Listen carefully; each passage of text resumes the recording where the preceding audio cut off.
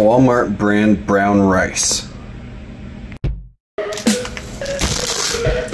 Walmart brand brown rice. Walmart brand brown rice. It's cheap, available, and colonizes quickly.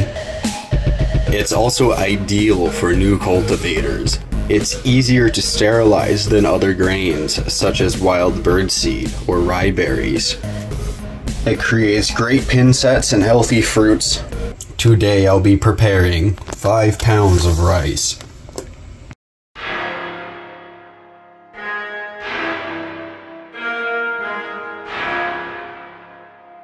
This preparation is easy and fast and produces 7 to 8 pounds of hydrated grains.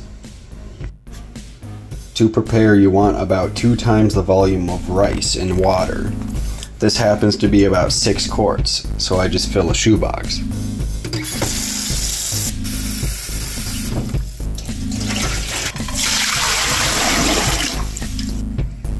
Now bring it to a rolling boil.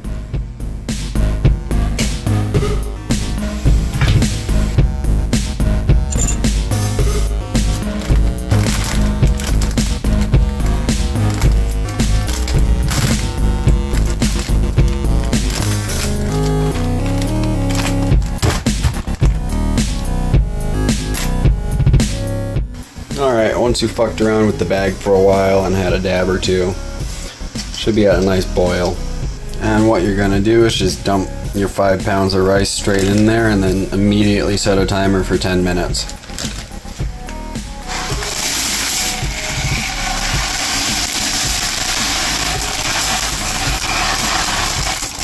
Alright, set a timer 10 minutes and turn it down a little bit. You just want it at a simmer.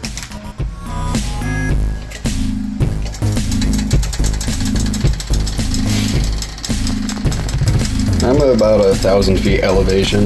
If you live really high up or really close to sea level, you might need to increase or decrease the time by a minute or so.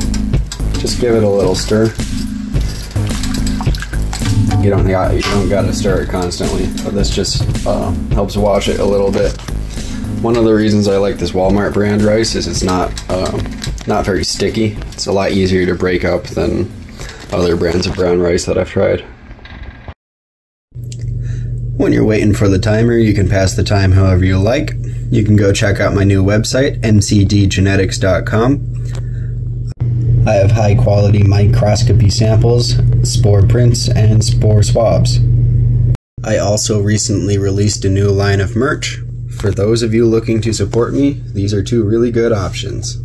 I also have a Patreon. I don't post much on it, but if you want to give a donation, I'll be more active on it in the future. As always, links to everything will be in the description. I also have a Linktree link on my YouTube channel. Alright, it's about 30 seconds till the timer's going off, so I went ahead and I got a strainer. And I'm just gonna go ahead and strain out the rice.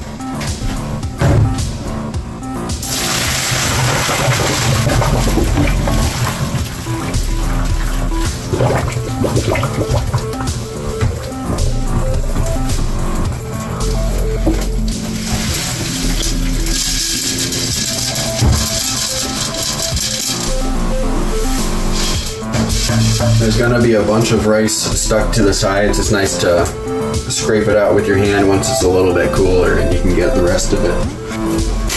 Okay, at this point you wanna you wanna rinse it with cold water to stop it from cooking anymore.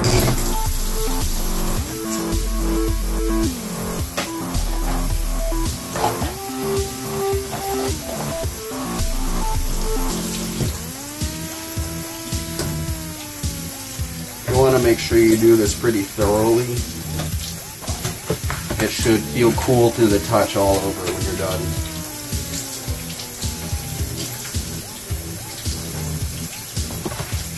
This also helps rinse some of the starches out and makes it less sticky.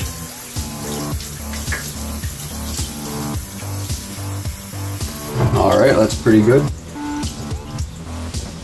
And then you just want to give it a nice shake to get all the all the water you can off it.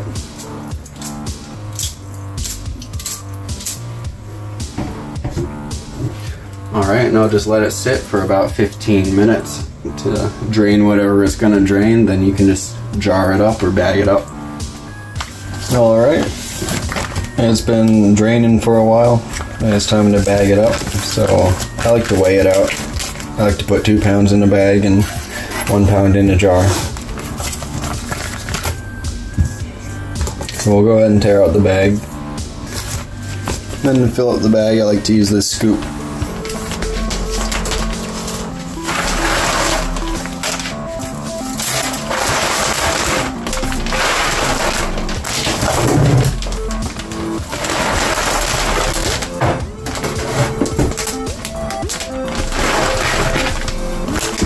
Alright. With my scoop, about eight scoops gives me about two pounds. That's a little bit over, so I'm just gonna grab. I like it right around 900 grams. Yep, and then just go ahead and do that for all of them. But I like to put 450 grams in a jar. It fills up about that much. Alright, I'll just do a quick demonstration on how to fold these bags. I like to just go down and follow the um, follow the crease all the way down, make sure it, like how it comes in the package. Then when you get down here, just hold it tight and give it a nice uh, roll. If that's not aligned, just unroll it and re readjust it. You don't want a ton of grains on the side.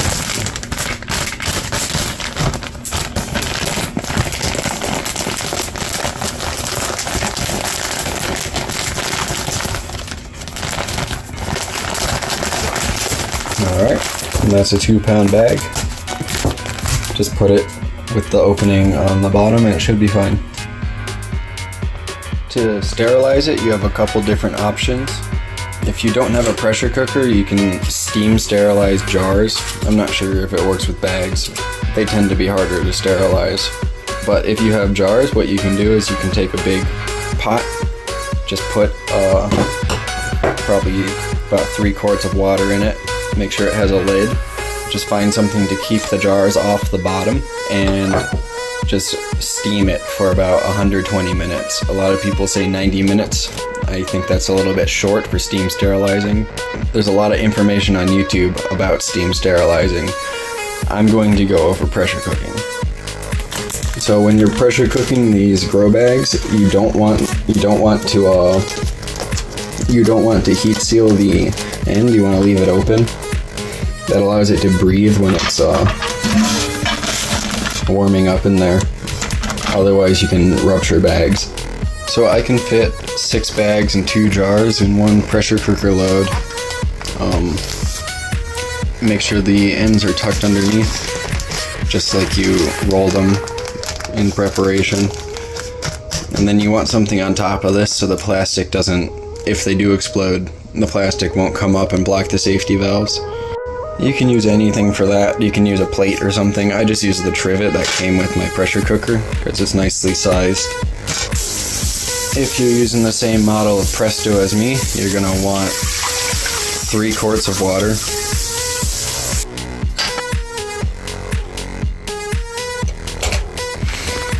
Okay, so we're gonna let this come up to a boil and start purging, and then we're gonna let it purge for about 15 minutes. And then we'll bring it to 15 psi for at least 90 minutes. You can go a little bit higher. I find 90 minutes works just fine for me. You might need to change it based on your elevation. When you see steam coming out of it like this, that's not actually purging. You're gonna wanna wait for the lock to pop up. Once the lock pops up, you can consider that purging. You want to just purge for 15 minutes to get rid of any air pockets inside of there because that will prevent it from getting to sterilization temperature all over. Alright, once the valve is popped up like that, it's, it's purging. So just set a timer for like 15 minutes or it's not really that important. You just want to make sure there's no air. It's all replaced with steam. Once it's nice and purged, you just gotta drop the weight on it and let it get to pressure. Once you're up at pressure, just set a timer for 90 minutes and then you're basically done. Alright, after you've cooked it for 90 minutes and let it come back down to ambient pressure, you can go ahead and open up the lid and let it cool down a little bit.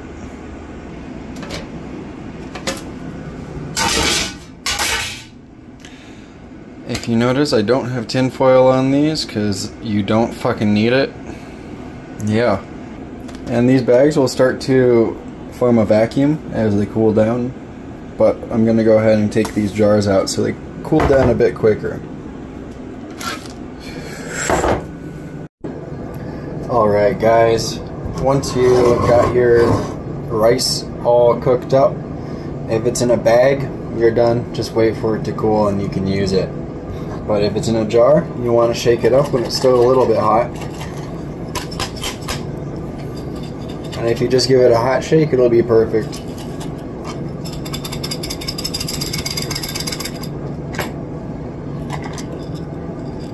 Alright guys, thanks for watching. Check the links in the description and make sure you drop a comment, subscribe, and a like.